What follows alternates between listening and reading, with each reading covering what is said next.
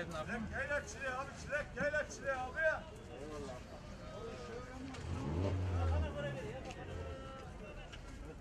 Pazarda en çok şu anda salatalık yüksek, domates yüksek, sebzelerin hepsi yüksek. Bugün salatalık 6,5 lira, 7 lira gibi fiyatlardan satılıyor. Domates 7,5 lira. Geçen hafta salatalık 3 kilo 10 liraydı. Yarı yarıya gibi fark var.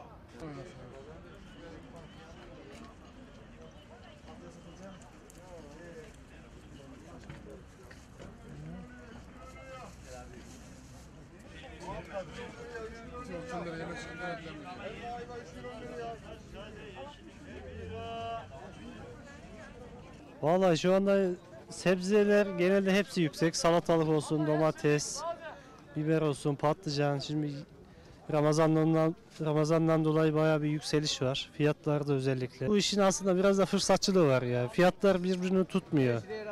Talep yüksek olduğundan dolayı önüne gelen fiyatı üstüne koyabiliyor yani. 3 kilo 10 liraya sattık. Bu hafta 6 lira. Geçen hafta 3,5'tu. Tabii ki %50'ye yakın bir zam var. Vallahi şu anda Kur'an etkisi bayağı bizi bir etkiledi yani. Bu da işlerin düşüşüne sebep oldu.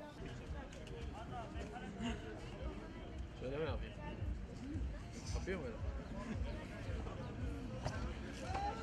öyle? Bir kişiden geldim beni. Abi şuraya boşalttı. Ayva öbür tarafa çektim çadırın altına. Şu ikisini dedim şu yan tarafa bırak. Şuraya genişlesin diyeceğim de. Evet, bir buçuk sene. Benim